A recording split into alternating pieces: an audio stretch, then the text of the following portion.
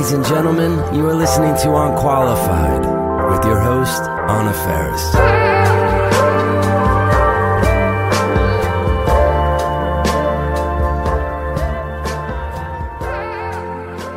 Melissa, Hi. oh, my heart has been pounding. I wanted to tell you that five years ago, I started this podcast in the hopes that this day would happen. I cannot thank you enough Oh my for God. doing this. You're crazy. I know that you have like very little time off, and it's just so sweet that you're spending it with me. Oh my God. This is so fun. You're in Australia right now. Yeah. We're in Byron Bay, Australia. Oh, it's beautiful. I had never been here. It is incredibly beautiful. We feel, I mean, every day we're like, I can't believe we're here. It's COVID free. And we've been here for like five months and we're going to stay another six months until, you know, the US can kind of right itself. But we can work here because there's no COVID, but also people are still really safe. They're very responsible for a place that has no COVID at the moment.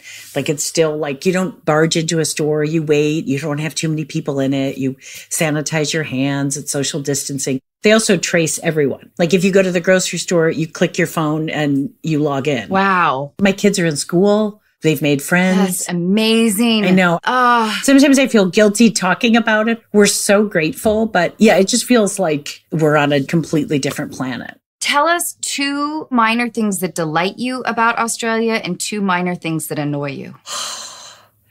I like how hardy Australians are. Like men and women. If there's a bug or a spider or a snake, like someone's just like, oh, it's just a python. It's all right. Like it's perfectly fine. I'm like, there's an eight foot python hanging over our head. And they're like, yeah. So they're so kind of hardy in that way. And I love the weird saying, how you going? They're like really chatty. So it's always like, when they say how you going, it's actually like this could go into a 10 minute conversation and I'm just buying like a newspaper. They actually want to sit and talk and chat. And I find that super endearing. I love that.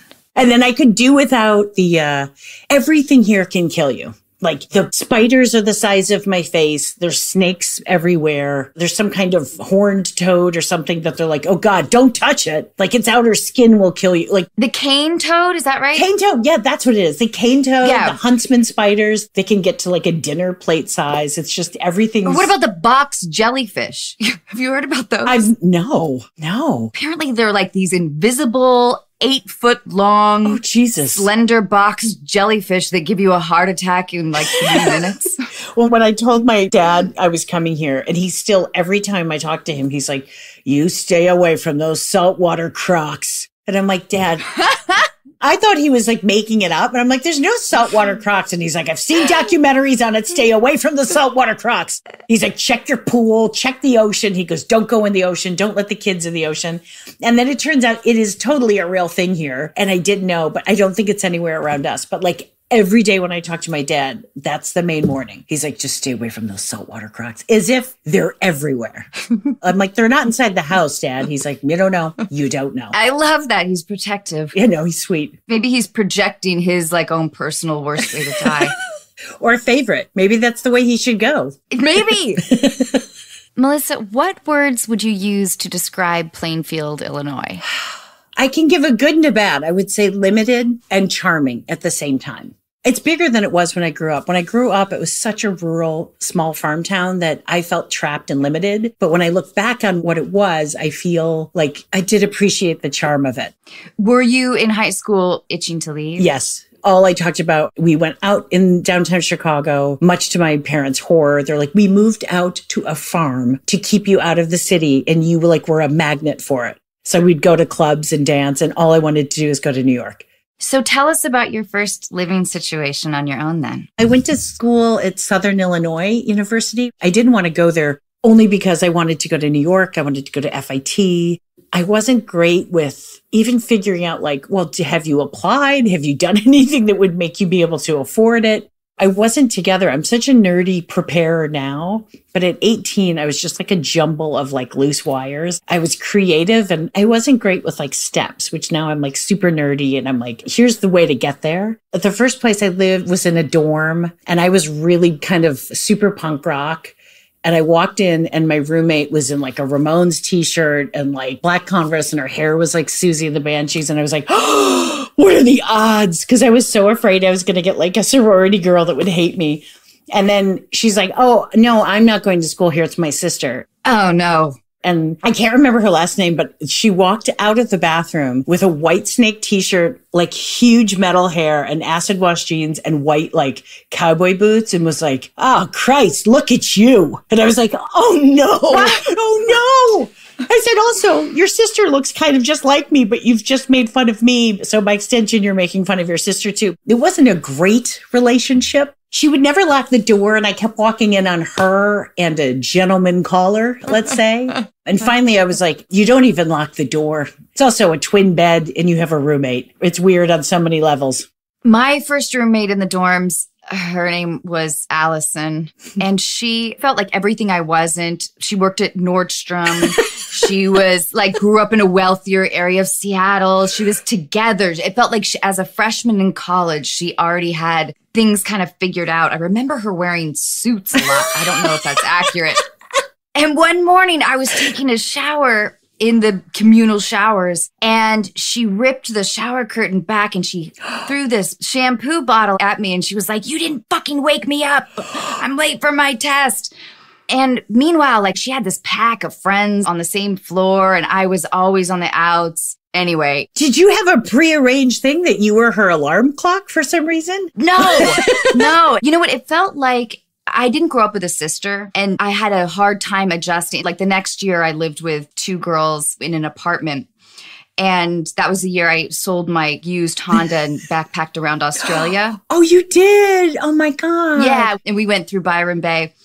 I just did one of those touristy things, you know, where you take a bus to different hostels. Which is so great at that. What were you like 18, 19? Yeah. Oh, it my was God. great. Yeah. It was lonely though. I was really alone and I had so much trouble making friends.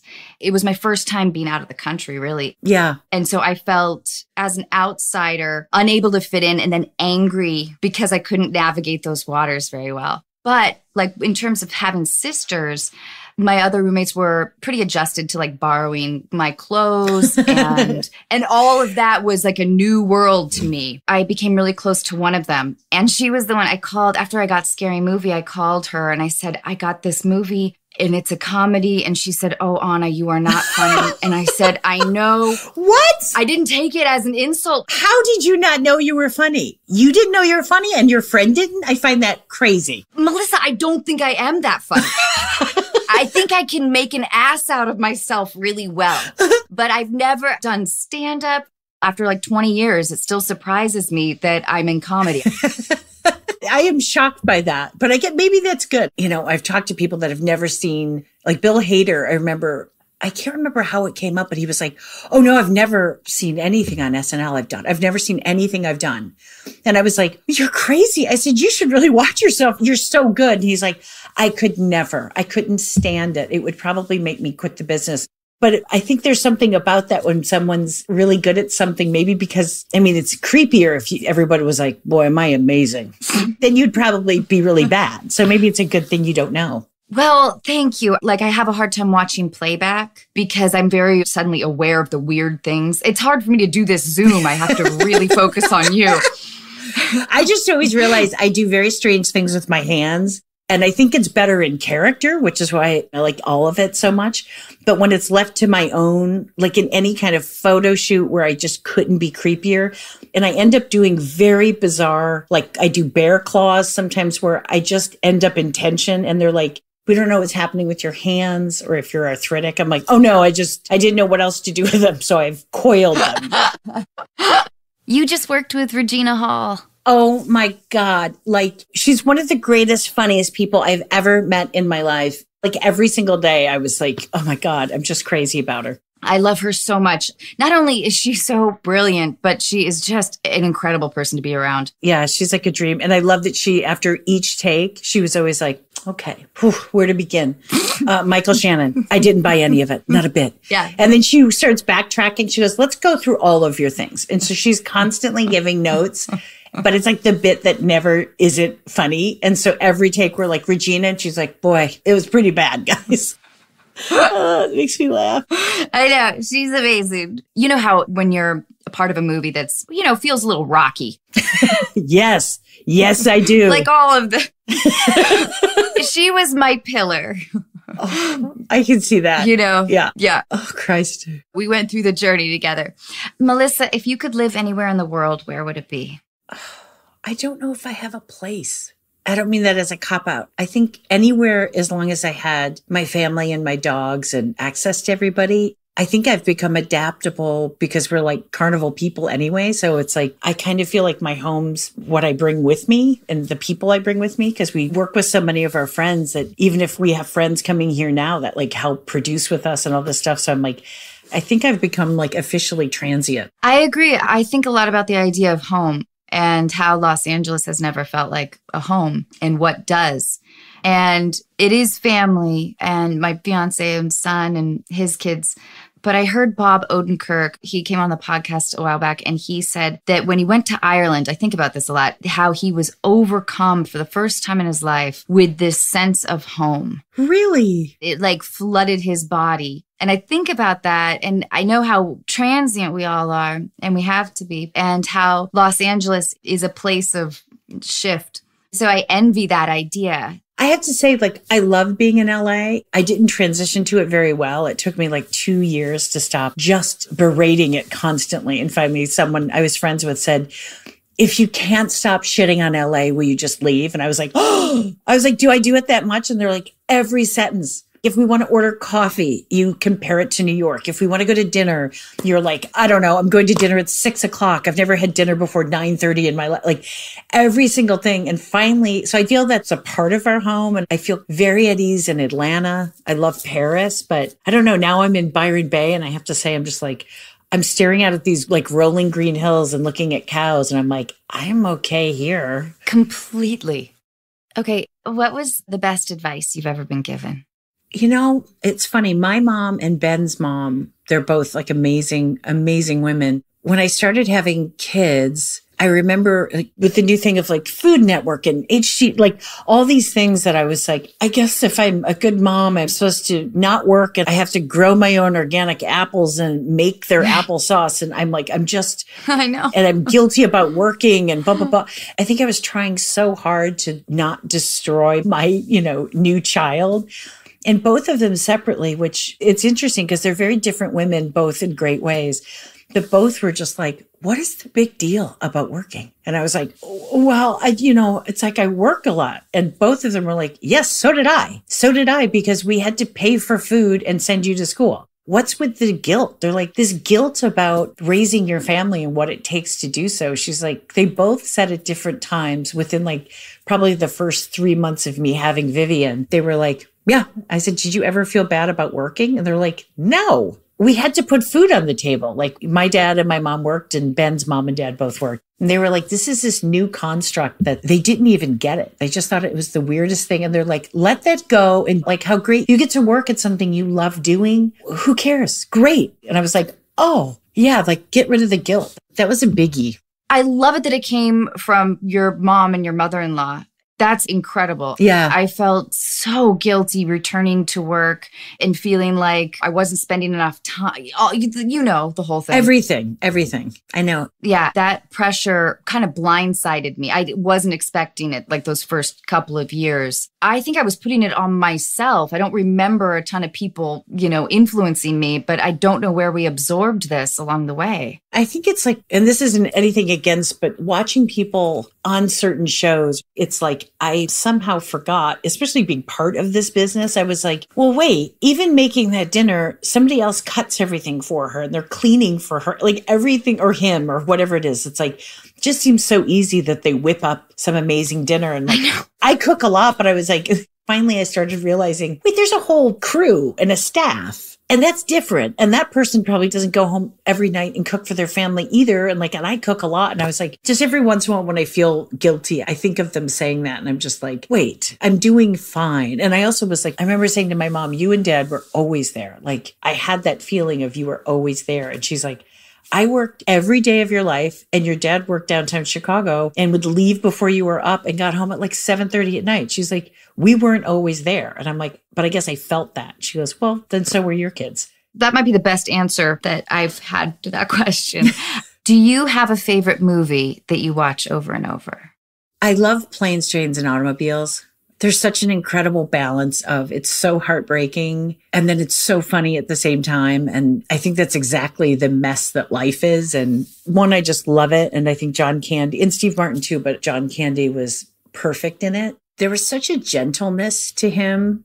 He's like, no, I'm the jackass. I'm making fun of me to make you feel better, or I'm making fun of me, not to like rip yourself apart, but he had the perfect, and I think it takes a real technician to be that funny and still be like, no, I'm taking the hit. Even in Splash, when he was like, oh, I'm going out with babes, he was saying stuff that you could take it as like, what an asshole, what a pig. And somehow you were just like, he did the kind of Archie Bunker of it where even when he says crazy stuff, his kindness in his heart lets you know that like, no, he's taking the fall. He's taking the fall and you get to look at him and laugh. And then when he would have his sincere moments, I think that same vulnerability and willingness to be like, I'm going to show you what it is. There's a beauty to him and his work that I loved. I love how you describe him. I'm trying to think of some other examples of people who convey that same sentiment. I, I think you do, Melissa. But you're right. You know, he evokes some uh, like a degree of empathy. It's a hard quality to find. It is. And also, like, to be silly is sometimes, I think, so lovely because you don't have to think I'm cool. Like, it's not trying for anything more than what it is. There's something pure about it. There's certain people that just have like Sam Richardson is a great one. He's such a funny actor. Yeah. You could give him a list of things that another person saying it would make you cry. And yet somehow he can deliver it and he turns the joke back on himself. And as he's making fun of someone else, he's essentially saying, I'm the idiot because I think this. It's a real magical skill set. You have to fully embrace the idea that with full sincerity, you are kind of a doofus in life. yes. And then I think we went through this whole thing, you know, making comedies and you try so hard to just make something to have someone connect with and make them laugh or just hear a little story. And for such a long time, I felt like they were like, if you're making a comedy, it has to be like joke after joke after joke after joke. I just don't agree with that. I think you have to tell a story and within the story, you can be funny and you can break someone's heart and you can be challenging it's just such a pillar of what it can be. And no one looks back on that movie and goes, how dare they bring up his deceased wife and make me cry? Instead, it was like, what a lovely moment. But I think Ben and I have had a lot of that. You know, you win and you lose to tell a good story about real people. And I always think within that is highs and lows. But I think we're starting to get back away from that. But I remember when we made Tammy, I had like a, I don't know if he's a critic or just a reporter, but he like actually like yelled at me. What? It was very strange. He was like, it looked like a big, you know, studio comedy. And I was like, it was a little movie. It was the first movie we got to do. And then it was like, there was like parts that were upsetting. And I was like, I'm not sure what the problem is. I said, I'm sorry you didn't like the movie. And he goes, I loved it. he goes, but you sold it wrong. And I was like, I don't know what's happening. Are you mad at me because you felt for her? And he's like, well, I went in wanting to see a comedy. I'm like, well, we have different values of what comedy is, but it's hard. Like people are so against comedies now. I worry sometimes we need them so much, not meaning for me, meaning from the world, because we're in a shitstorm of a pandemic. And I do think people are just beating them up. And I don't exactly know why. Even when Bridesmaids came out, it's a big thing that people were like, this is going to be awful. I'm like, but it's not out yet. You're just going after, I don't know if it was that it was women or everybody thinks they can do it better. So they just go against it. But I think if we stop making them, everything can't be dark. And I love dark stuff, but it can't all be dark. We're living in a tricky, tricky world. And if everything is murderers, killers, war, crime, we're sliding down a slippery slope. But Melissa, I'm really hesitant to bring up a gender idea. Do you think that that's also part of it? I think it's a lot of it. Yeah. It's like I think we've taken some steps forward, but I think for the most part, there's a lot of male reviewers. And, you know, statistically, they don't seem to enjoy when a woman isn't being kind of like pleasant and attractive and pleasant to be around. I like characters that are really challenging and walk to their own beat. I mean, those are the people that fascinate me. So completely. Sometimes I think about how Blockbuster did us a fundamental disservice by categorizing. so, you know, our expectation levels are like a menu at McDonald's. Yeah. You have your drama section, your action section. But I've never thought about that, the pre assuming what it is of like, you have to fit in this box and it has to be like this. And I'm like, well, I think most people love a story where they're like, I didn't even know that was coming. Like, I had no idea. And comedies are subjective because I mean, you can tell the same joke or a funny moment. 14 people won't get it. 20 will think it's great. 13 will be offended. 20 weren't listening. It's not the same as like I walked across the room and I had to pour coffee because I was mad at my husband. I'm not saying it's easy. I'm just saying it's clean cut. If you do that and don't do anything bizarre, people buy it. If you try to have a weird, funny moment, it's so subjective. It's so much more heightened for critiques. You work so hard on them. I just think no one's ever making them in the hopes of like, God, I hope this really screws up some people.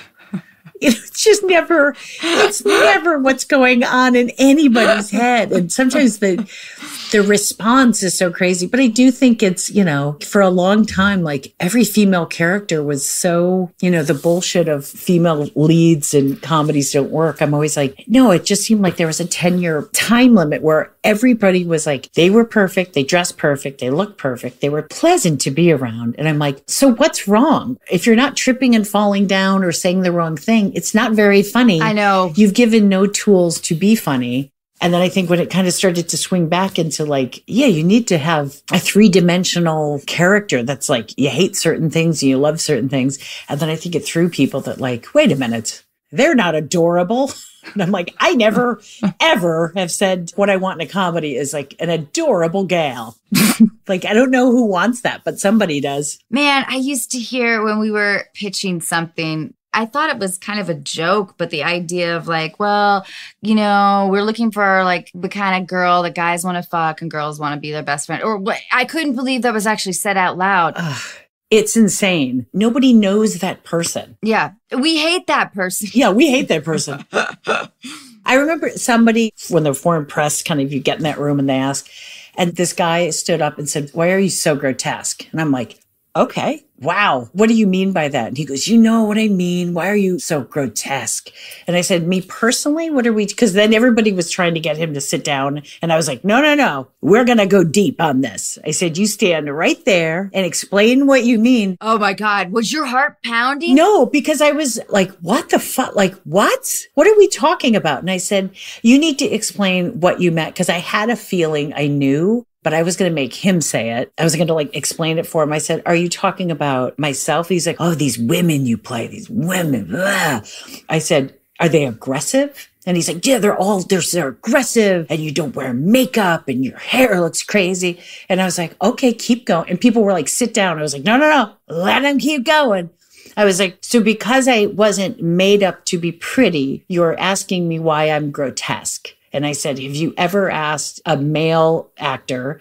And I said, My character is not together. My character is falling apart and she's not thinking about her hair and her makeup. And she swears and she tells people to fuck off. I said, That's the character. I said, Would you go to John C. Reilly? Would you go to any actor that didn't happen to look dashing and wasn't charming? And would you say they're grotesque? And he goes, fine, fine, aggressive, overly confident. And I said, so that's what it is. You find an overly confident character in a woman grotesque. And I said, first of all, they're not overly confident. The reason they're so boisterous is because they're insecure. I said, that's the whole point of the character.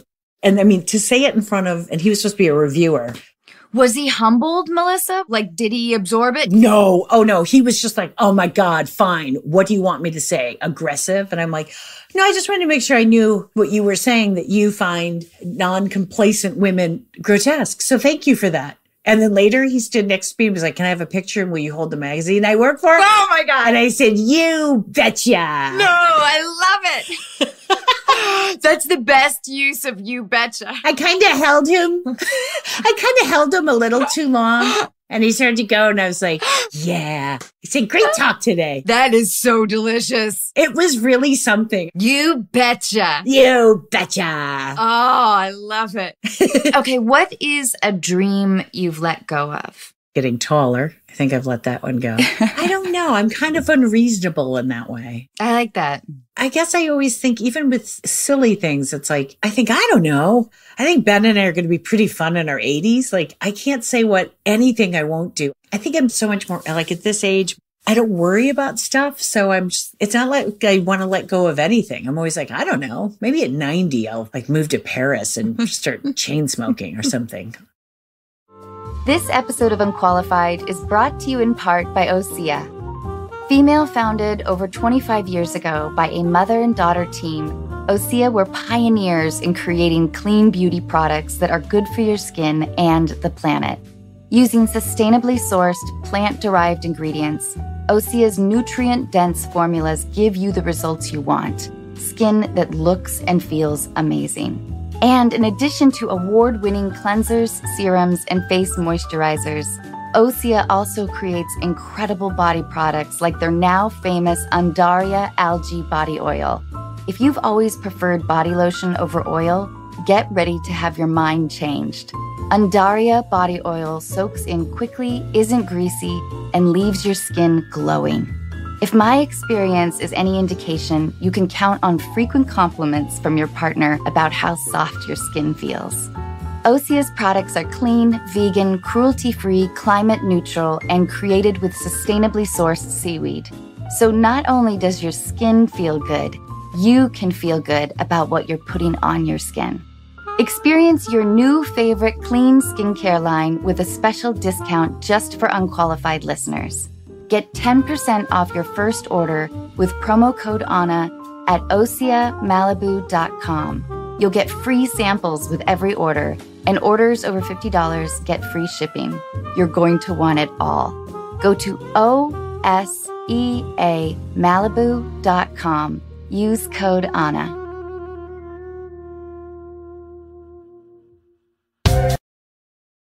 I wanted to ask you I am a virgin when it comes to any awards.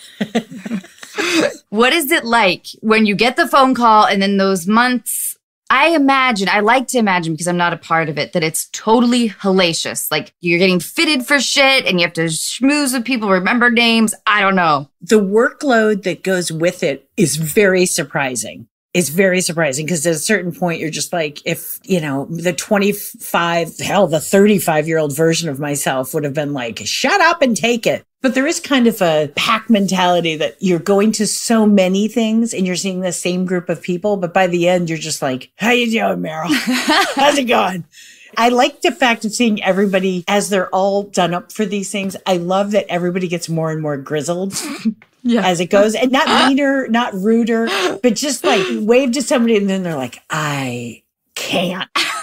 the inside version of that really tickles me because I just always think people are so much more, you know, you just see somebody walk past you and they're like, I remember meeting Angelina Jolie and I could barely concentrate. I was just like, I'll never have that. Whatever. She was just talking and being so nice. And I was like, Oh my God. I said, you have to repeat yourself. I said, I was so visually distracted that I don't know what you said to me. And I'm so sorry. I don't mean to like objectify you. I just up close, holy shit, look at you. And she laughed. But it's like, I like getting to see people that I think are so kind of beguiling be just like anyone else. I think that's something I found really fun and not in a negative way, just like, oh my God, okay we're all doing this weird job. It's nice to know that for the most part, everybody's just a big weirdo. Yeah. and everybody's like tired and their feet hurt and everybody for the most part gets along. Like I've always liked, you know, what's behind the curtain as opposed to what's in front of it. So it's a thing. I remember Amy Poehler told me she was nominated, I think, eight times oh my God. for an Emmy. She said that every time she would tell herself she's not going to win, she's not going to win. But as the names are being called, she felt the hope like rise up every time. Like she just couldn't physically help it. And that has stuck with me because I know I would fall into the same trap as much as, you know, I can be very dismissing of the awards because I haven't won or been nominated for shit. So of course I can. but I know that I would be seduced. I know I would. There's human nature to that though. Of course you have in that second, you're like, oh my God, we worked so hard on that. Wouldn't it be great if? I remember the first time I was like, Octavia's going to win. And then she did. And it was, I don't know. I mean, we've been friends for 25 years. So I was so happy for her. But I mean, I have the same thing, but in different things. Like, even though I know if, let's say I'm supposed to run across a field with six other actors, and at the top, I'm a 50 year old woman. I know exactly where I'm going to fall on that foot race. And yet I'm like, what if out of nowhere I kind of kill it. And like, maybe I've got a shot at this. And then, you know, three steps into it, I'm like, oh, wow, ow, oh, ow. Like I'm, I'm the last one by far, but I'm like two seconds ago, I was looking at people like, man, wouldn't that be something if I beat him? I don't know if that means we're all delusional or maybe we're optimists. Maybe that's it. Melissa, I look back on hosting Saturday Night Live with kind of only this thought that it took 10 years off of my life. I'm convinced. Do you have similar feelings? Did you hate it? No. Or it was just, it's so intense. So intense and surreal. And I did not feel prepared in any way for any, like even riding in the elevator, like No. all of it was, it was just, I don't think you can be prepared for that show. okay, good. I think from uh, doing like so much stage stuff, it felt like preview week at the Groundlings, which is, you know, an improv group where I started and I met Ben there. It's just like nobody knows their lines. You've just written it that afternoon and there's an audience out there and you have half your costume on. Best of luck. Some things are going to suck. Some things are going to be okay. I couldn't get over the speed of things. Like I've done things at SNL and they're so unfazed by it. I remember there was something where I was supposed to like get a pie in the face. I was uh, testing on a game show, Yes. Yes. I love that sketch. It's And- so brilliant. but they're like, oh, the whipped cream isn't holding up. So we're going to use shaving cream. And I'm like, cool, great. At the end of the scene, I've ingested about a cup and a half of shaving cream. I have three minutes to get fully out of this wig, this costume into something else that had some prosthetics. You're also so exposed. You're standing in a hallway as four different people rip clothes off of you, take a wig off, and I start throwing up because I've eaten all of this shaving cream. So I'm literally like, "Oh, I'm so sorry. I'm so sorry. Because I feel terrible. Out of nowhere, somebody shoves a cup under my mouth and they're just like, just go ahead and throw up. Nobody cares. Just keep your arms up. So they could keep dressing me. So I'd throw up and I'd apologize. And they're like, we don't care. And the thing is, they really didn't. They were like, we've seen much worse. And I was like, in my life, I never thought I would be in a room full of people, fully vertical, throwing up shaving cream and just having a perfect stranger catch it and just be like, it's no big deal. Can you turn over so we can like get your wig on? And I'm like, uh huh. I'm gripped with anxiety as you're telling that story. Oh my God. Having said that, I remember standing behind that door and being one of the loneliest moments in my life. It's very surreal because I watched it. Did you watch it religiously growing up? I was familiar with the older stuff, but then when I hosted, I felt guilty because I hadn't been watching it for a few years. Like I wasn't up to speed. It goes in cycles. That show, more than anything else, has such cycles to it. I mean, I watched way, way back, like through the 70s and 80s, and I just couldn't believe when I first walked onto that stage. Also, when you realize the stage is like the size of a small bathroom almost, you think it's going to be this, but I'm like, oh, it's New York. You know, everything's small. When we first were cutting through, we like came from the hallway, cutting through to something else. And I saw all of a sudden, I was like, oh, this is it. Like nobody said anything. And all of a sudden I just realized we were standing there on like day one. And I'm like, oh my God, that's the stage. And I like burst out crying. And Lindsay Shookus, who runs it, was like, sorry, I should introduce it more. I just, I'm so used to walking through here. I just froze. I was like, I can't believe I'm standing here. It was just terrifying. okay, Melissa, do you believe in ghosts or aliens? I do. I believe in both. I don't know if I was supposed to pick one, but I've felt a ghost before. And I just don't think that we can be alone. I really don't. I don't know what exactly that means, but I just don't think in the entire universe, it's just us. I agree. To say that we're like the top of it all, I'm like, ah, have you seen Florida? I mean, it's just like, I always think like clearly there's so many people that know so much more. And I don't know if it's because they think people would freak out with aliens, but I just think there's too many stories of like, there are people that know. And I would just be so fascinated. I think everyone would feel better, not more scared. And also at this point in time, maybe if we knew there was other people, we'd be a little more embarrassed of how we're acting and we would kind of buck up. I love the idea that it would be an exercise in humility. that would be Yeah. incredible. We need a higher being to just shame us into acting better. I think it's a sad truth. Well, I did want to ask you about your relationship with the idea of patriotism. Well, that's a tricky one, isn't it? I know. You know, it's an interesting thing now because, you know, I am a liberal. I think what that means has been morphed and taken away from us. Just like I think the word Republican Or feminist. or feminist, which is like feminist does not mean you hate men. Republican shouldn't mean that you're fascist and a Democrat shouldn't mean that like anything goes and we're out to kill the country. I love the United States. I think it's riddled with anger and fear. And I think we're ripping each other apart for it. And I hope we can get on the other side of that because I want to go back to being proud of who we are. And it's been weird these last four years, like, you know, traveling. It was always like, I wouldn't even bring up where I was from. I've never had that happen. I don't hate the US right now, though. I think we're in such dire straits of losing our humanity that it worries me. So I'm hopeful to be able to be proud of it. I think there's a lot of amazing people in our country. And I think there's a lot of really lost people that are so angry. And I don't even know if they know what they're angry about. But when you become so unhappy in your own life, you have to blame someone. And I think we're watching the, I don't know if it's the disintegration of the middle class that so many people are losing the ability to hope for, hey, maybe I could get a better job. Maybe I could be happier. Maybe I could find a different life. And I think instead of kind of looking at the mirror and saying, how can I do that? How can I work harder and achieve whatever the goal is? They're going, it's that person's fault or it's that country's fault or it's the wall. It's the this. And I'm like, I don't think we can get back on track until everybody's like, yeah, the problem's most likely in the mirror. And I root for those people. Yeah. It's been a perfect storm in terms of social isolation, not just with COVID, but the years before then with our social media and the idea of relative anonymity. My dad always thought that people would be much better drivers if you had to have your name plastered all over your car. I totally agree. I think so too. And the same idea could be expanded, I think, with the idea of social media.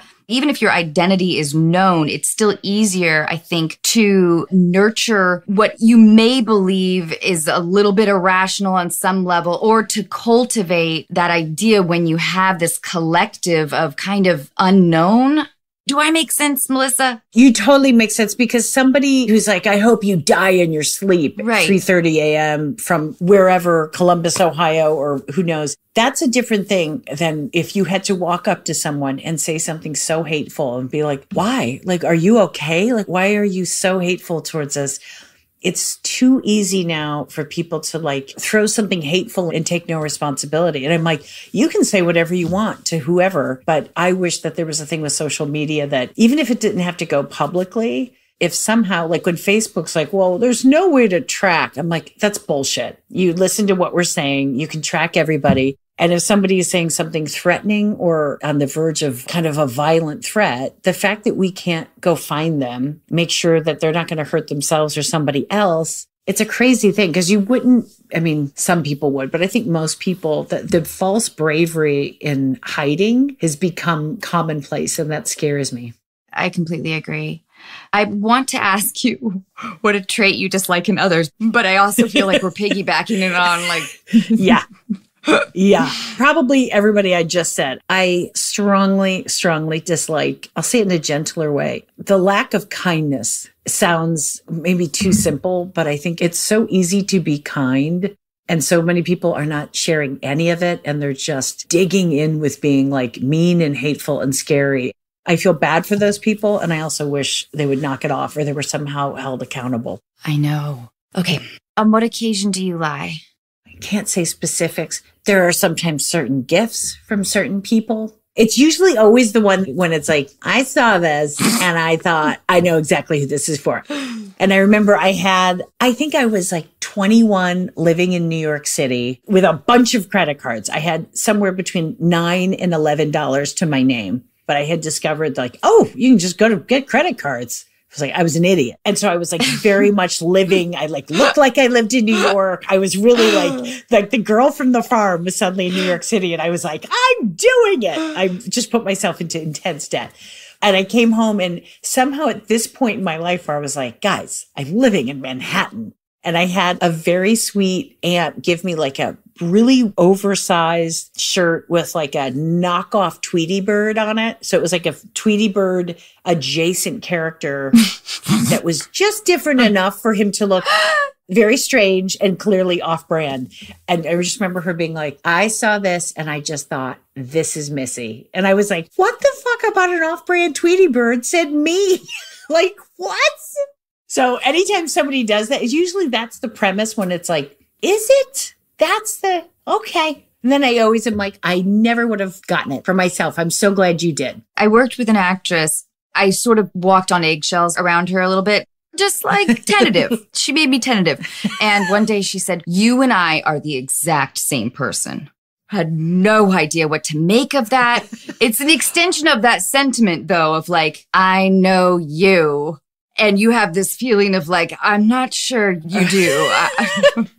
Did you try to have her explain like in what way? Nope. or were you like cool? No. The tentativeness did not bleed into curiosity in any way. It was like just have to be wary of this oh person. Oh God. melissa does it annoy you when journalists say things like what makes you and ben laugh? And I guess, does it annoy you that I brought that up? no, it does not annoy me. I think I'm just glad that they've stopped trying to get us to talk about how much we can't stand each other. Like, what do you mean? Like, what did you guys fight about? Oh my God. When we first did Tammy, every single question was like, oh my God, how terrible was it living together and then working together, and being together 24 hours a day? And we're like, it's the greatest thing we've ever done. It was a blast. And they're like, okay, so who's the more aggressive? And, and I'm like, no, like this is how we met. We met writing and performing. So this is like a fever dream. It's great. And they're like, okay, so who gets more angry? Oh no. This has gone on for years. So like literally like six years in, Ben, I'm like, I don't hate him. I just don't. I'm sorry. I don't hate him. And finally, they've stopped asking. It's like, who wears the pants? I'm like, we both wear pants. We both wear pants. I can't say it anymore. So I'll take that over how much do we hate each other? And then I always felt bad. I'm like, do you hate your partner? Mm, I'm like, that's kind of what it's leading into. And Melissa, this is probably well worn territory for you, but can you tell us a bit about Bridesmaids? Everything you do is so fucking oh brilliant. Oh my God. But probably like most Americans, Bridesmaids was when I became aware of how brilliant you are. Will you tell me a little bit about the level of improv or even being a part of that movie? You know what? That was, we knew how much fun we were having. And I just remember thinking, well, Kristen and Annie wrote it, and they're two of the funniest humans I knew. And we all knew each other forever from the groundlings. Rose was new, but everybody else, like we had all been around each other. So it kind of felt like we were doing another, like, you know, we'll put on a show. And we're like, I don't know if anyone's going to see this thing, but I just don't know how you can watch Maya do anything and not be like, she's just the funniest creature I've ever met in my life and doing it and having like Paul Feig and every single step of the way, you were so encouraged to like do and say and oh. whatever you think your character would say. Paul would just be like, do more, say more stuff. I'm like, I haven't said any of the lines yet. And he's like, just keep talking. Like he was such a cheerleader. And I mean, and Kristen and Annie being the writers of that, they're such good people and they're so funny the real kick was everybody was always, if we were goofing around and doing like stupid bits on set, the main thing during scenes where people were just trying to like tee up somebody to go into one of the bits we were just doing. Nobody was like, I need my time or this is my moment. Everyone was literally trying to be like, can we get Maya to do the weird thing she was just doing while we were waiting around? How generous. I'm so envious. It was one of the most incredibly fun, supportive, happy, loving. I mean, I can't say enough about it. It's so funny to me that even if nobody sees it, who cares? We all got to make a movie together as friends and like, look what we did. And then there was the weirdest thing the weekend it was coming out. You know how they do all those projections and stuff that I never understand? They were like, oh, everybody should be prepared. It's not going to do very well. It's not going to do well. And I was like, I don't think that's true. And they're like, it's not going to do well. There's a form that we follow and it's not going to do well. I'm like, do you think people will see it? And maybe say like, oh my God, there's some really funny things in it they just kept saying brace yourself. And then of course it did so well which was shocking. But it was like i have nothing but oh god i have so many stupid pictures of like us behind. I was like the last one to kind of figure out like the aging app because i'm so technologically challenged And there was this scene, like when we were all out on the water at the ending scene when Wilson Phillips comes out. It's so great. we were all on those pods. So we really were in water and you couldn't get off. And we were laughing so oh hard oh my God. that I realized I was like, we're all going to wet our pants. Like people kept crying because we were laughing so hard that people were like, I can't get to you to do your makeup. Stop crying. Stop making each other laugh. And we're like, but then you're standing there with Maya and Rose and Kristen and Wendy. I mean, and just, Wilson Phillips. and then oh Wilson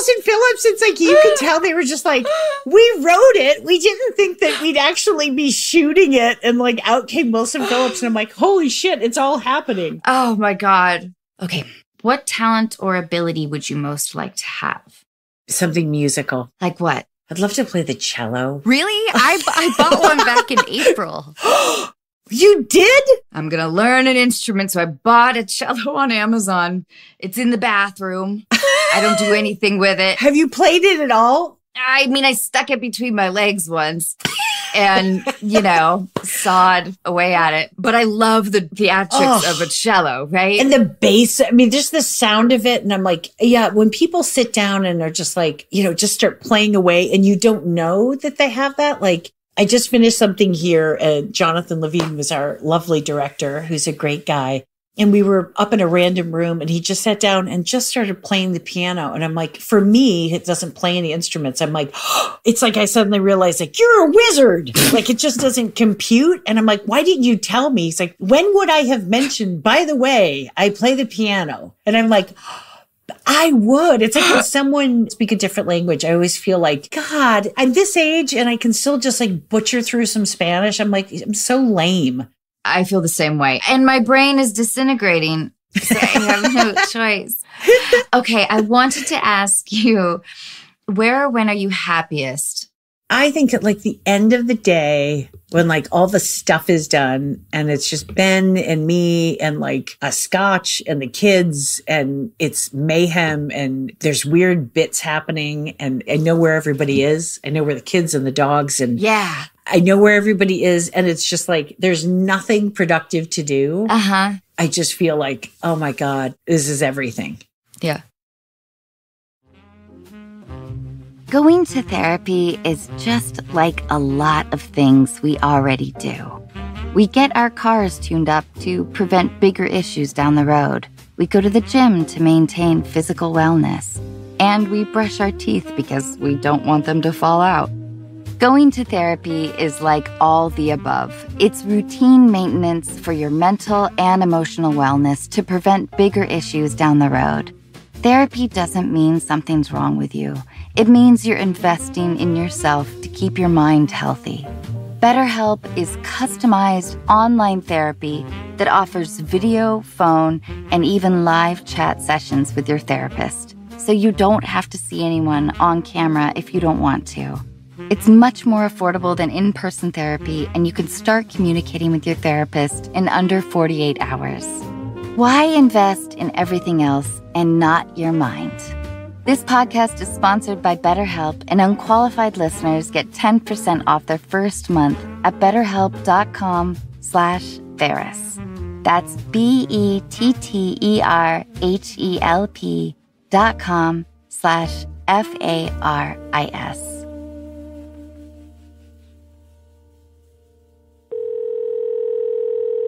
Chris, hi. Do you have collections of anything? What do you collect? Oh God. I collect portraits, which Ben has a lot of trouble with. He does not like them. Melissa, wait, I don't know what you mean when you say portraits. Like oil paintings of people that I've never met. If I'm in any kind of like a vintage or antique store or thrift store and there's a portrait, I feel compelled because I'm like, that's someone's family member. Why does no one in the family have it? I guess I have to take them. And I also think maybe it's because why I love characters so much. Cause then I'm like, who's this guy? Like, look at him all dressed up in like 1952. And I'm so fascinated with them. Ben's always like, they creep me out. And I'm like, I can't stop buying them. That's amazing. What do you collect? Do you collect anything weird? I have some skeletons. I have a lot of dead bugs and insects around the house. I have Sure. that kind of like faux hipstery thing, I guess. but I like to think that it gives me like a comfortable cushion with my sense of mortality. Sure. Sure. If I'm Yeah. surrounded by it and it's mm, inevitable, I don't know. then I'll be fine with it. Yeah. Yeah. I go down a lot of weird wormholes. It's like usually Etsy related. It's usually like two in the morning, but all of a sudden I'll be like, oh my God, like look at these weird like sculptures of heads. Like all of a sudden there'll be like 15 in my cart. And Ben, You will buy them. yeah. And then Ben's like, hey, it's the third random bust that showed up. I'm like, aren't they great? And he's like, it's a lot of them, honey. It's a lot. And I tend to do collections. Like if I start to get one thing, I'm like, oh, I'm- we should do like six on a wall. And he's like, or one, or one. I'm with you though. I love miniature things. I love a diorama. I love a diorama. Yeah. Like strangely, I love a diorama. Melissa, when you and Ben are developing a project, do you start with a character you want to play? It depends. It always kind of morphs into it. It's like it's never quite the same way. And like Michelle Darnell, I'd done at Groundlings and I just loved her. I was like, I'd love to like tell a bigger story for her. A lot of times, like sometimes we'll think of it together. Sometimes Ben, I mean, for Tammy, he just came down in the morning. I was like sitting there having coffee. He's like, I had a dream where you go on a road trip with your alcoholic grandmother. so I think it's a movie. And I was like, okay, you want to have coffee or you want to go write it? And then like he did, he just sat down and like wrote it all. And then as we go through it and he'll give me pages to read, I start to like put in her dialogue and usually I kind of know who she is pretty quickly, but it comes all different ways. I always start with a wig though. Once I have the scripts, Oh, I go to Wilshire Wig and just really spend a couple hours trying on wigs. That usually keys it all off. And then like we'll have a better wig made, but I'm like, I have to kind of find her visually. This will sound stupid, but I know what she's like. I know her attitude. I don't usually know how she sounds, like literally uh huh. until I see her on my head. Because there's something about like a tight curly wig, you're going to sound different from like a mullet. Yeah. I've done this with Paul Feig. I do it with Ben. There's always just lots of pictures of me at that little tiny Wilshire wig, like in the valley. And every time I do a movie, it's just a bunch of weird pictures of me in different wigs. And then I'm like, I think I just met her. I love that idea so much. I get a little obsessive with shoes for a character. Oh, really? That makes sense though. Does this person feel taller in life or shorter or, you know, like the posturing idea, I guess. Yeah. It's funny how there's always a different way in. I love to hear how other people, like we were talking about this with Octavia Spencer. She's like, Oh, I write their memories. And I was like, what? What does that mean? She goes, well, to know who they are, it helps if I know where they've come from. So I write the character's memories in a book. It'll never come up. But if I know this happened when she was six or this happened when she was 12, it colors how she interprets life now. And I was like, well, that sounds a lot more interesting than I go to a wig shop and try on wigs. And she's, you know, just laugh. But I was like, I thought that was so fascinating. That's beautiful. I love that. I know. I remember Keenen Wayans had us do these big character biographies for Scary Movie, which it was awesome. I love doing that kind of stuff, but it also felt like Cindy Campbell is so one dimensional. She has no backstory. She just gets fucking hit in the head. Do you still have it? no, I wish I did. That was a scary experience. It was my first big movie, and I was convinced I was going to get fired. I always feel like I'm going to get fired. First day, I'm always like, guys, you're going to love the woman who comes in and replaces me.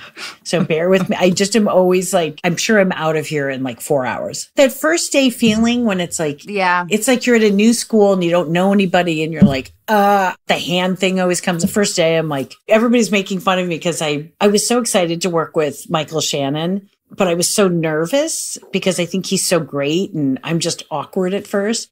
And he came up and we were talking and I've never done this in my life. All of a sudden, I literally was like, all my energy was going to like, just pay attention to what he's saying. And I literally didn't know where to put my hands. And so at one point, I just very awkwardly put them on top of my head. Mm-hmm. Something I would uh-huh. never do. I couldn't pull it off. I just sat there and it wasn't even like casual. Like I was just awkwardly like hands flexed and like all the people that are always with me and know me literally were laughing so hard and they were like what was with your stance i'm like i just got real distracted and i didn't know what to do with my hands so i had to place them somewhere and i didn't have pockets which is like if you want to just completely melt my brain down don't allow me to have pockets because then i don't know where to put my hands and so i guess just awkwardly resting them flexed on my head was what I came up with. I wish our listeners could see the pose because it does feel reminiscent of like a preschool play, It's not natural. There's nothing conversational about but it is really fucking funny. in a super sad way. Oh God. Do you have a favorite book or author? I really, really love the memory of running. I loved it. I don't know that book. It's beautiful. It's a beautiful story. Oh God, why am I forgetting his name? He's an incredible character actor who's just passed away last year, wrote it, and it's just beautiful. The Memory of Running. The memory of running. It's a beautiful story. We wanted to make it into a movie and it just never, it's a big one to kind of show on a responsible budget. So maybe that's the dream. I still want to make that movie. Ron McLarty? Yes, Ron. Yeah, he was a great actor and a beautiful writer. I'm ordering it right now. Do you enjoy solitude? I do. I like solitude if everybody's like two rooms over. When I know the chaos is still close, I'm like, ooh, nobody knows I'm in here. Am I going to get to read for like a half an hour or like troll Etsy, which is more likely? But if everybody's gone, I kind of pace around and wonder when they're getting back. So it's a false solitude that I like. When I was talking to Regina and told her how excited I was to be talking to you, she was singing your praises. She loves you so much. And she also said at least three times what an amazing mother you are. And I guess what surprised me about motherhood maybe is how much I've enjoyed it. I can't imagine having kids and ever being the same person you were in a billion different ways. You're instantly incredibly important to someone and completely inconsequential because your kids don't really give a shit about you. At the same time, you're everything to them. So right away, it's a head twister. Maybe it's age too, but for me, I think it's having kids. What I worried about before kids like the things that I was like, oh, you know, what am I going to wear tonight? Like, who, what if so and so's there? Like the stupid things I thought of. And now it's just like, I know where they both are. They're doing great. They're completely weird, funny, independent, like these young creature ladies that I live with are constantly surprising me. It's a constant fear of like, like when you're 30, you'll be like, oh, well, I'm still dealing with that because my mom was I don't know. I think we're all narcissists. We start out, you know, as kids are, they only can want what they want. And even in your 20s, you're not just self serving. And I think you should be, but you're not responsible for anything. So you can just be like, the most important thing is like, where are we going? When are we going out? What am I going to wear? It's all like fluff and very fun. And then you have kids and you just kind of, it made me feel like I reassessed my entire life in a good way. I just can't get over how funny and strange my kids are. That's amazing. Melissa, what was your first boss like? My first official job was my mom worked for these two women that ran like a World Book Encyclopedia company out of their apartment in Plainfield, Illinois. They had apartments, but they had a cool thing on like there's a little two block main street and they lived in like an apartment above the shop, which was like I thought that felt like a big city, even though it was like a hundred year old building. And Norma and Betty, oh my God, they had one of their aunts with her, Aunt Hilda. And I was probably in fourth grade. And every day after school, I would come and I would be a caretaker for Aunt Hilda, who was like 98, and I would be her companion. Like Rebecca. you were a paid companion. Yes, I was a paid companion.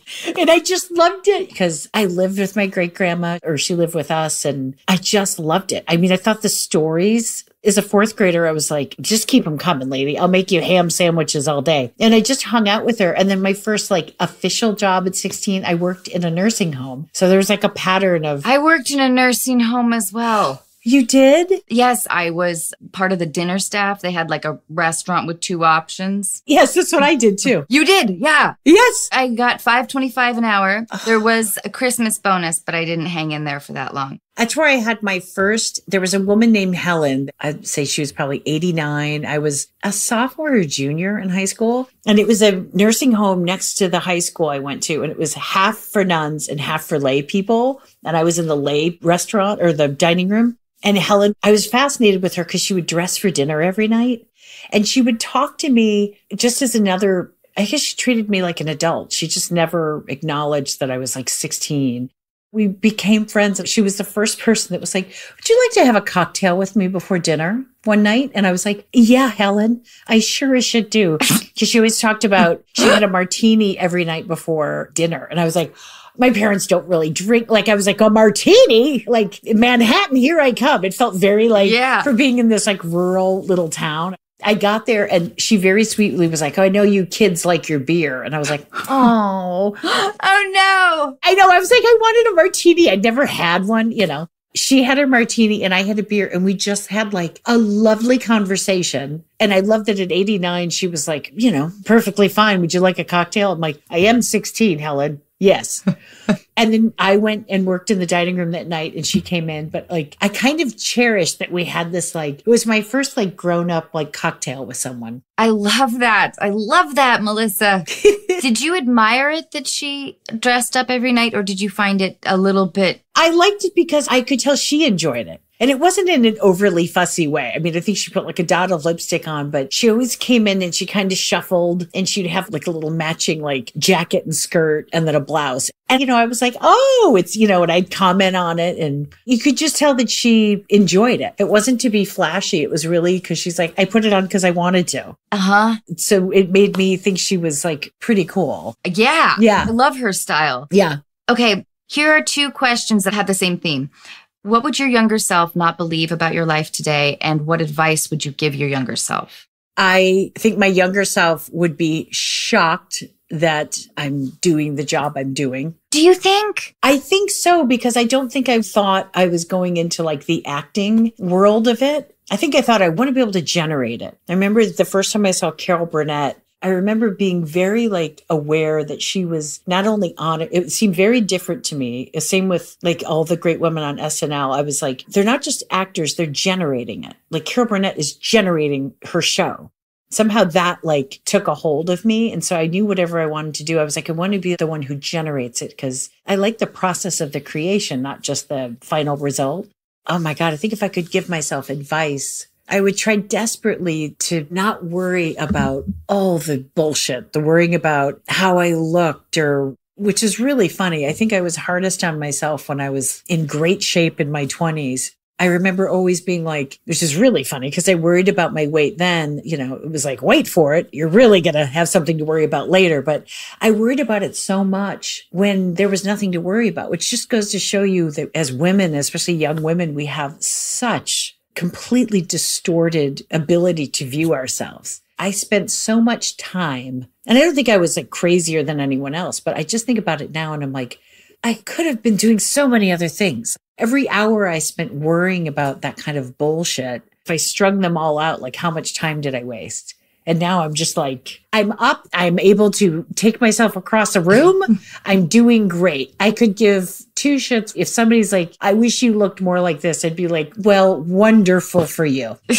I don't care at all. The 20s were like a time of, yeah, fun and misery. Yeah. And I was consumed by jealousy that I couldn't suppress very well and competitiveness. But I imagine the groundlings was joyful but intense. Did you have those times when you were second guessing? I dropped out of my drama program at the college I went to because I didn't think it was going to happen for me. And I didn't want my heart to be broken in Los Angeles. It worked out. Yeah.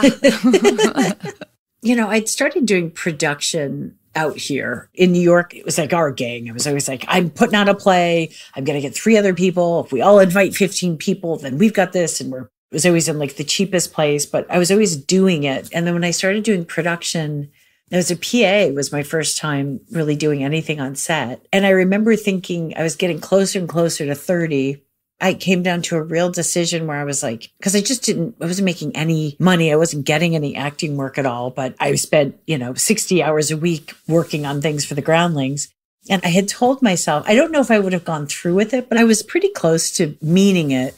I said, if 30 comes and I still have not had a regular acting job, I'm going to switch to production and switch to the producing side of it because I had been a production manager for someone who I really liked. And she was like, why don't you come work for me? And I was like, I have to give it to the rest of the year because I was 29 at the time. And I was like, I'm not quite there yet, but if I hit 30, can I come back and see you? And she said, yes. And then at like two weeks before my 30th birthday, I got Gilmore. That's incredible. Okay, before I let you go, I wanted to talk to you about superintelligence. I loved the movie. Oh, thanks. I love you and Bobby Cannavale. He's the greatest. I imagine I've never met him. He's one of the funniest people on the planet. And he's also just like the greatest guy. He's just a tremendous fella. It seems like it. Yeah. The scene in the grocery store.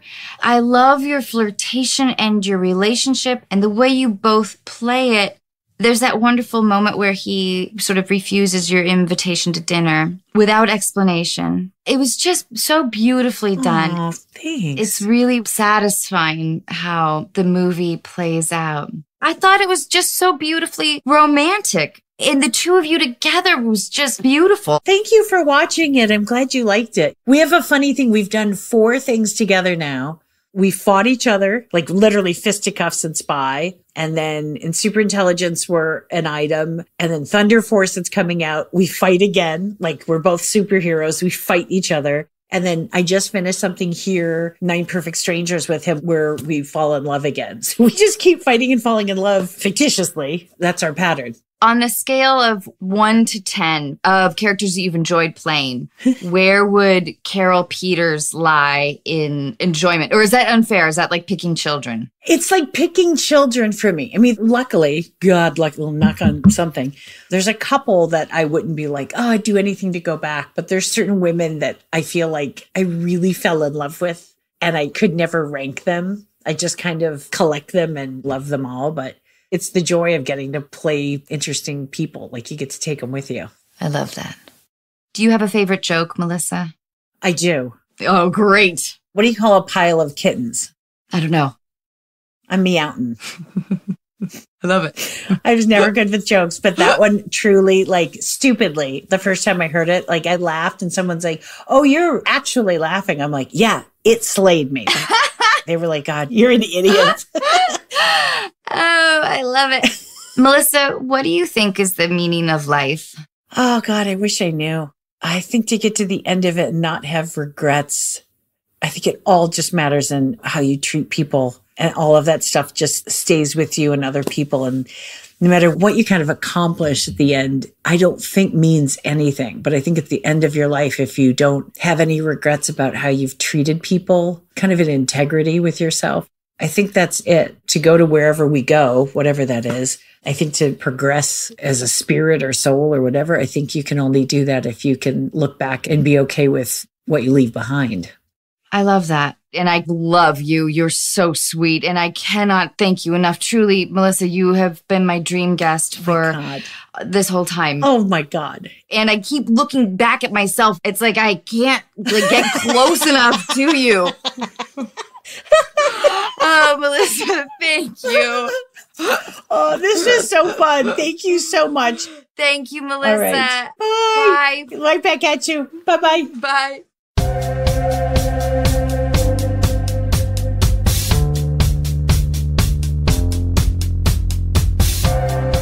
Hey everyone, I'm excited to welcome Dr. Jen Gunter to the podcast. Dr. Jen is an OBGYN, pain medicine physician, and advocate for women's health. She has been called Twitter's resident gynecologist and the vagina whisperer. Okay, maybe I came up with a vagina whisperer, but you'll see why. I do need to emphasize that while we hope our conversation is educational and helpful, nothing should be taken as medical advice. If you're experiencing a medical issue or have a question about a medical issue, please talk to your doctor. Okay, and now Dr. Jen Gunter. Hi, Dr. Jen. Thank you so much for doing this today. Hi, Anna. Thank you so much for having me. All right, let's call Liz. Hello. Hi, Liz. How are you? It's Anna. Hi, Anna. I'm so excited. I'm doing great. Well, I can't thank you enough for submitting your email and for talking with us. I'm here with Dr. Jen Gunter. She is an OBGYN and she has also been called Twitter's resident gynecologist, the internet's OBGYN, and she's wonderful. I love that. Liz, will you tell us what's happening?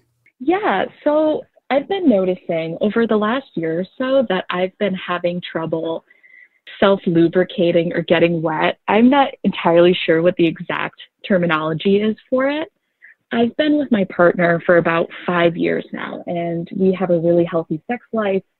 And he's a very generous partner, but I've been finding that this is getting in the way a lot more often to the point where we'll just stop having sex. What I find confusing is like, you know, we'll be doing foreplay and it feels good, but I'm not having this physical response with my body. And that's clearly getting in the way of what goes on beyond foreplay. Do you mind my asking how old you are? No, not at all. I'm 27 years old. That seems young. Dr. Jen, will you help us out? Because I assumed that age was related, like menopause or, you know, and I'm 44. So I keep waiting for those days too when I'm not as lubed. So definitely lubrication can change with age. So that's certainly one factor, but there can actually be a lot of different things involved. So is it okay if I ask you a couple of questions, Liz? Oh, yeah, of course. Okay. So are you taking any medications? Yeah, so I'm on birth control. I take the pill. Okay. And are you on a regular estrogen containing pill? It's a very low dose of estrogen. Okay. And do you take any other medications, uh, specifically antidepressants, if you feel comfortable answering that? I do not. Okay. So the other thing is when you say that you don't feel wet enough, tell me what the symptom is, like how it actually feels. Again, if you feel comfortable with that. Yeah. So we'll be like fooling around and, you know, I'll feel myself like producing something down there, but then we'll start having like full penetration sex it'll be going on for a while and then it just starts to feel kind of like a, a, little more painful like you know mm-hmm. to the point where even like my partner he notices that like i'm not really enjoying myself as much and like i don't want to say it's drying out so i'm not dry but it just definitely feels like there's more friction when we start to have penetration sex so obviously you know this isn't direct medical advice and without an exam you know i'm missing some things but so there's a couple of things that could be going on so sometimes for example just lubrication can wax and wane for reasons that we don't understand. But that would be something that we would say would be the, the diagnosis we would come to if we rule everything else out.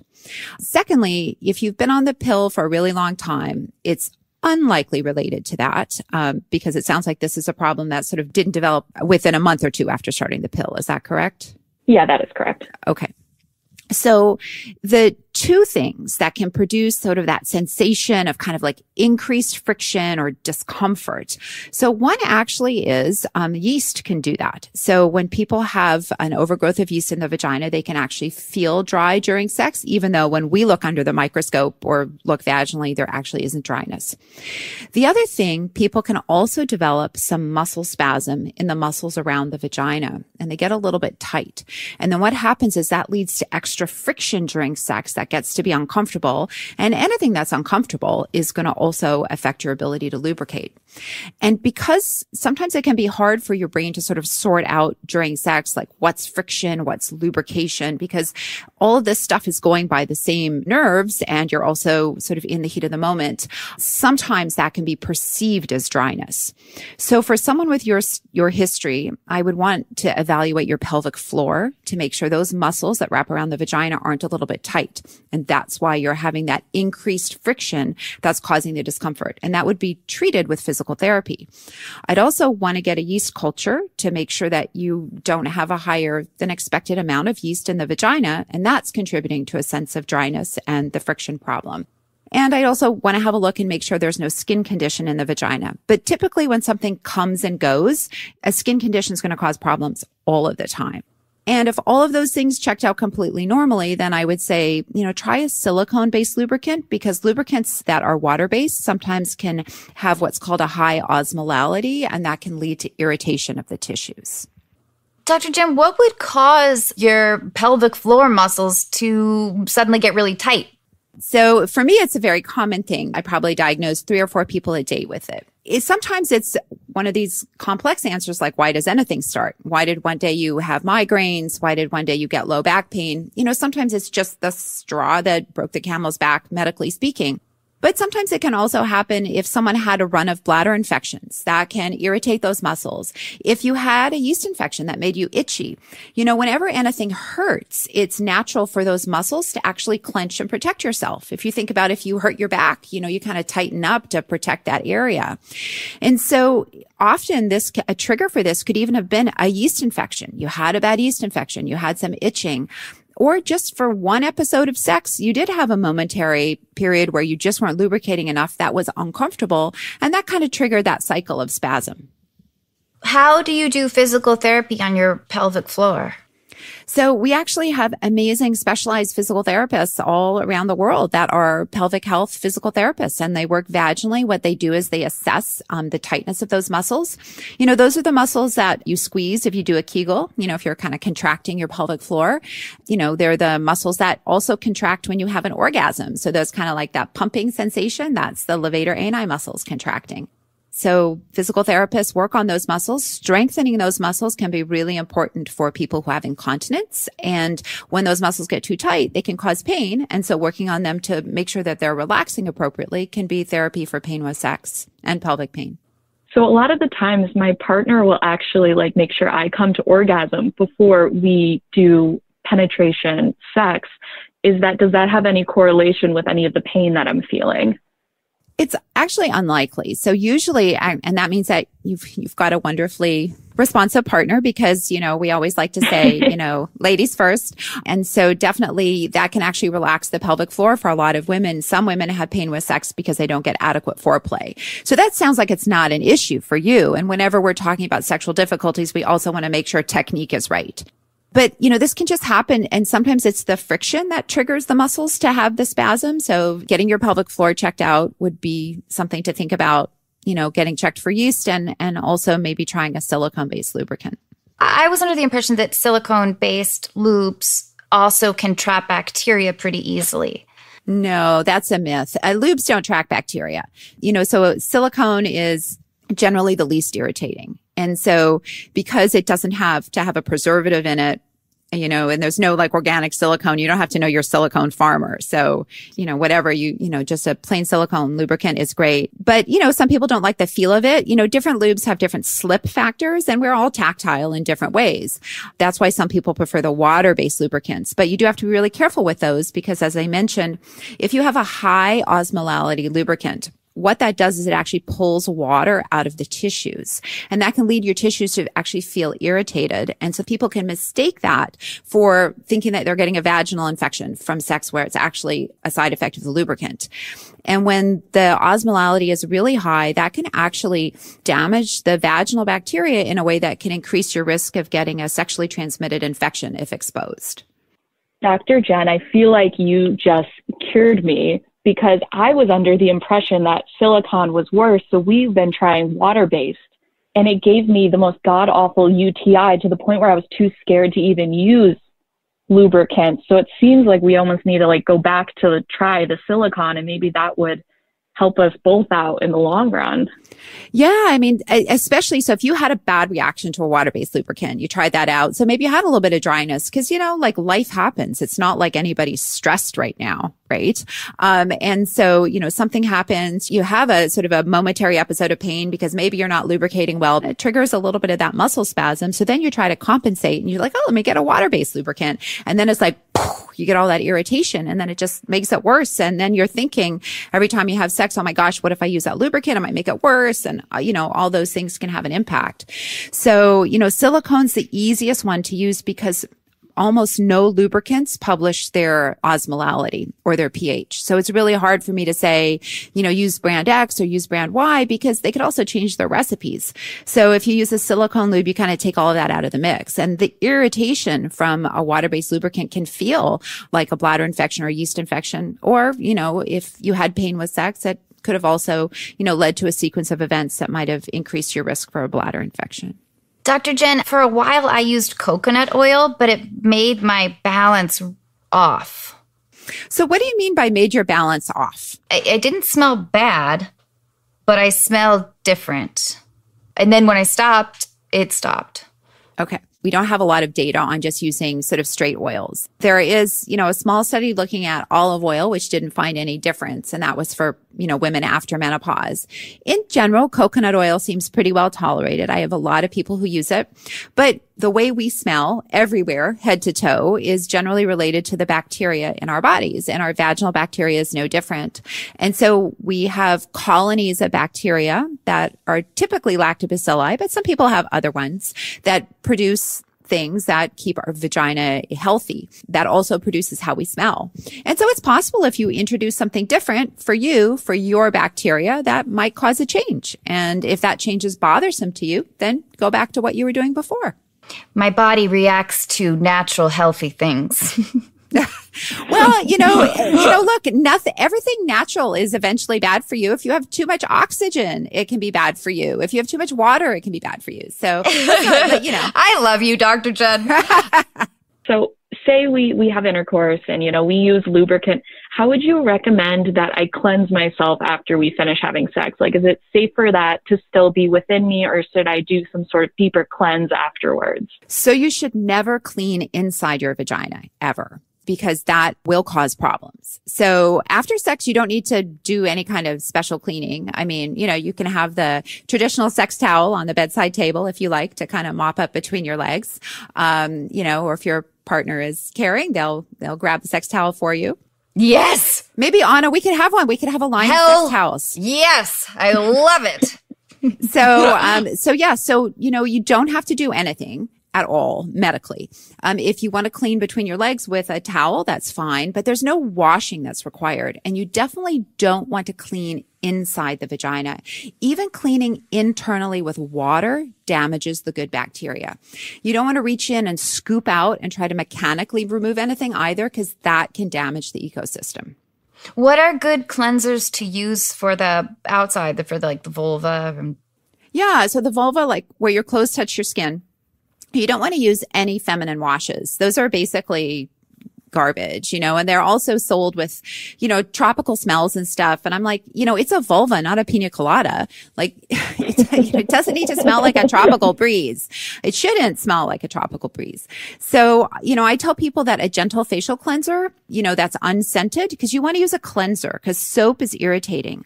When soap interacts with your skin, it can also raise the pH and the vulvar skin uh, is more susceptible to drying out. That's actually one of the functions of pubic hair. It traps moisture there. So especially for people who remove their pubic hair, you're going to have to work a little bit harder to not dry out, you know, the area. So, I mean, if it's okay to mention products, I just use, you know, CeraVe facial cleanser. I use that on my body head to toe. Oh, great. I'm loving this, by the way. I guess just with the idea of like self lubricating or getting wet, would you say that just like everyone produces something different? Like every once in a while, like I'll feel a little shame the fact that like I couldn't produce more like show my partner that I was like more turned on than I actually was just because like I feel like especially with that Cardi B song coming out like I just can't relate to that idea. you know, I think that's a real reflection and I hear that all the time. So, you know, I want to I want to endorse that what you're feeling is something I hear from a lot of women. So, it's almost like sex has become metric driven you know, that if you, you know, how fast did you come? How wet are you? You know, all these things. And it should be pleasure driven. It should be, did you have a good time? You know, that's what matters. You shouldn't have to sort of give a display of that. And I think that, you know, things happen and life happens and sometimes you're more lubricated than others. And, you know, 65% of women have reported that they've, you know, needed to use a lubricant and there's nothing wrong with that. And so, and sometimes people like to try it because why not try a different sensation? Uh, but you know, and it's also sometimes your brain is ahead of your vagina and you're like, you're raring to go and your vagina just hasn't caught up. So why not use some lube to get you there? And you don't need to have some kind of sort of sexual performance metric to tick off. It's about pleasure, not performance. What happens during ovulating? I know that there's a more viscous discharge which is yeah, such a we, gross word, isn't it? Discharge. It's beautiful, our bodies. Oh, but discharge is an evolutionary marvel. I can talk for hours about how amazing discharge is. But yes, during ovulation, you have this special kind of mucus that uh, comes from the cervix and it's about, you know, obviously helping with pregnancy should it happen. And we call that Schmidbarket. That was sort of the name that was given to it. And it's, you can actually, Spin- wait. I, I might, I might be butchering the pronunciation. So let's just say that, but I think it's Spinnbarkeit. So it's a German word. Spinnbarkeit. And it, the mucus is so thick, like if you put it between your fingers, you could pull it. Yeah. Like that's normal. And I heard, Dr. Jen, I think you touched on this, I- and I think this is the magical part, is that that lube like sucks the sperm up and helps like escort it to the egg. Yeah, I mean, it's all about everything about the reproductive cycle is geared towards making fertilization more likely to happen. So it has absolutely has a role in that. And some people can produce so much ovulatory mucus and other people less. And sometimes some months it's more than others. And that's the way it is.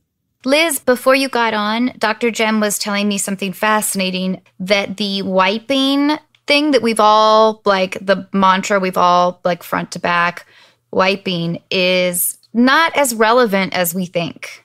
Really, I feel like that's so ingrained in our brains from I such know. a young age, especially once we like get our period and we become a woman. I want to blow both of your minds here. So you remember how cleanliness and purity have been linked with goodness for women, right? So a lot of these kind of cleaning rituals and things have come from that sort of a good woman is a clean and sort of prepped woman. You know, when uh, many of these recommendations came out, in addition to sort of purity culture, you know, there were very few women in in OBGYN to sort of speak up about what actually happens when you go to the bathroom. It's not like you're soiling yourself everywhere. And then, um, you know, then there's the other concept of, uh, we now, we didn't know about the microbiome, what we know now. And so things are far more complex and we're learning that overcleaning is actually really bad. I see a lot of skin problems from wipes and overcleaning. You know, I unfortunately see a lot of women who are washing or cleansing their vulvas, you know, four, five, eight, ten times a day. And I don't think about it at all. And I'm an expert in the area. You know, I give a swipe in the shower and that's it. What about urination after sex? Yeah, that's also um, a bit of an old wives' tale. There's absolutely no data to support it. It's also been removed from the newest guidelines. So special attention to wiping and voiding after uh, sex have sort of been removed. You know, I mean, a lot of our bathroom purity stuff, this fastidiousness is probably also a remnant from, you know, Victorian era where again, cleanliness was next to godliness and, and that has permeated so much of our culture. You know, that's probably a big part of it those things don't seem to make a difference. I mean, they're, they're not harmful. If you want to pee after sex, you certainly can. But, you know, if you like a little after play and you want to cuddle first, that's okay too. Yeah, I always thought that was a bladder infection correlation. Like if there was, you know, a lot of like rubbing or whatever, and that peeing after sex was an important part of. Yeah, no, it's just hasn't sort of borne out. And, you know, I think we're learning a lot more about bladder infections that it's really far more complex. There's a urinary microbiome, um, you know, bacteria that cause infections often are more adhesive, but it doesn't mean you can flush them out with your pee. If you could flush them out with your pee, you'd be flushing them out all of the time, right? So, you know, this idea that some like critical window of five minutes that is somehow going to allow these bacteria to take hold hasn't been borne out. And so, Dr. Jen, this is incredible. In like 15 minutes, you have completely uh, reoriented my vagina. I wish I could get all this time back from my life of sitting on the toilet and trying to force myself to pee afterwards. Me too. I know. But Dr. Jen, is there anything concrete that we can do to avoid yeast infections or bladder infections? Or is it kind of a little mysterious still? Well, so I would separate those two completely because they're very different, even though, you know, they happen in close proximity.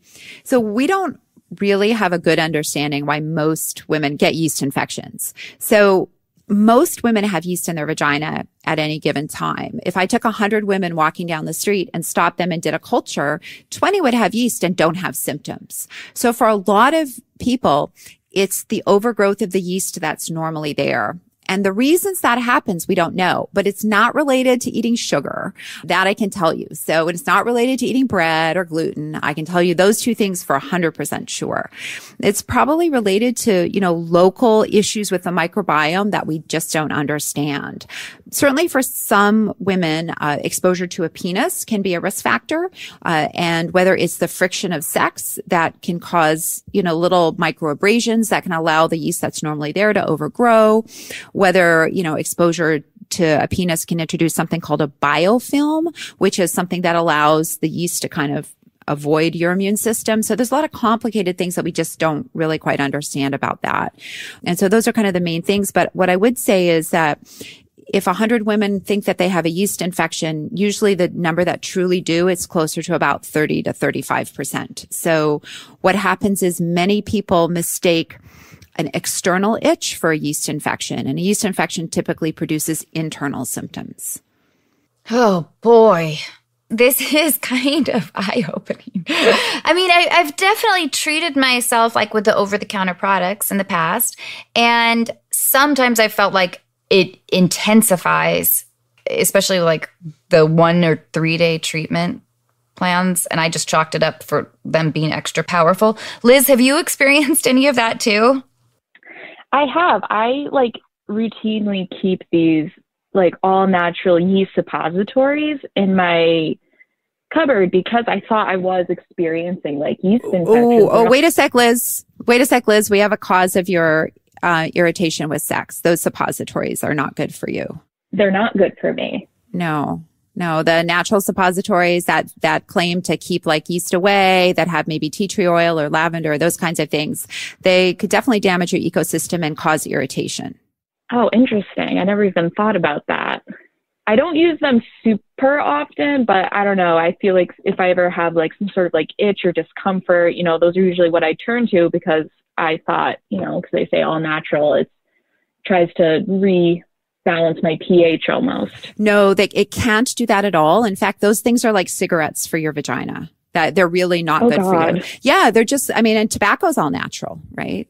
That is true. Yeah, I mean, these companies are preying upon people. So we have these huge gaps in medicine where women are made to feel shame about their normal vaginas. We have doctors that aren't trained maybe in the way that specialists like I am are. And so people get misdiagnosed and they get pushed off. And so I can totally understand how you turn to someone who's offering this kind of all natural product. But those things are, are definitely harmful for your vagina and I would throw them away. I am planning on doing that the second I get home. Um, Liz, do you have any more questions for Dr. Jen? I I feel like this has been hugely helpful for me, Liz. I'm so glad you wrote in. Yeah, this has been incredibly helpful. I feel like you've opened my eyes to a lot of things. I mean, I'm definitely going to pick up some silicone based lubricant. I'm going to throw away any of my like all natural suppositories. Um, I just, I feel really happy that I was able to talk about this because, like you said, like there's this level of like shame that's put upon us when I can't respond in the way. And I'm very thankful I have a wonderful partner who's never made me feel shame. It's just very internalized, but I, it seems like I have different things I can try out now and hopefully things will turn around in the end. And I cover all this stuff even in more detail in my book, The Vagina Bible. Which I have upstairs. It's awesome. Oh, I'm definitely getting one of that. Hey, Liz, thank you so much. I so appreciate you talking with us, and I truly do because I learned a lot. Thank you. This was wonderful. Please be in touch, and thank you for for being so open and talking about a problem that millions of women have. Thank you so much, Anna. Thank you, Dr. Jen. Thanks, Liz. Have a wonderful rest of your day. All right. Thank you. Dr. Jen, thank you again.